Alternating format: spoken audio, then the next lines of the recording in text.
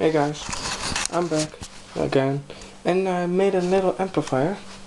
Three tubes, miniature tubes. Look at my thumb. They're really small. This is one of the boxes.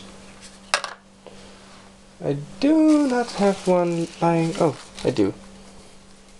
In my hand, it's so small. It's really, really small. The 100 volt output transformer works just fine.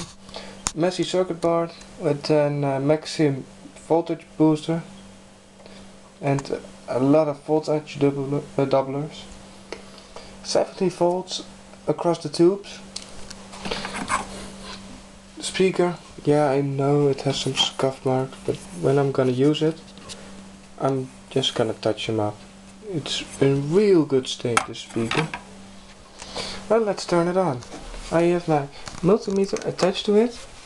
It's an amperage, it's all uh, turned off. When I touch this to the plus terminal, yes, it works on 12 volts. It will start working. But first let's turn this on. I hope I won't get problems with YouTube because, well, I've had many times already. Wire. Real, real heavy. It's the riddle, by the way. Um, here's the start of the number. 370 milliamps. Tubes instantly start up. Little red glow on the side. I don't believe you can see it. Oh yes, you can. It just plays. Here's the sound. Yeah, it's less than a watt, so don't expect much from it, but well, it runs on a battery. It's just freaking awesome.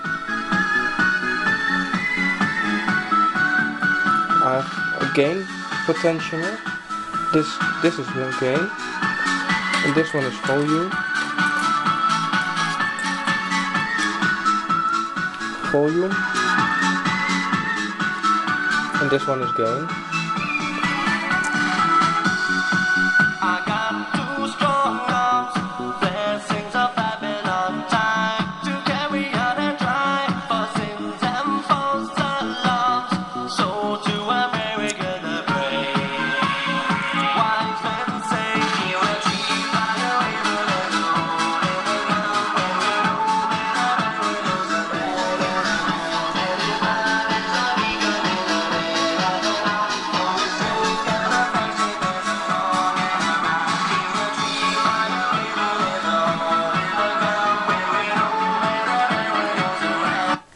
Well, that's enough of that.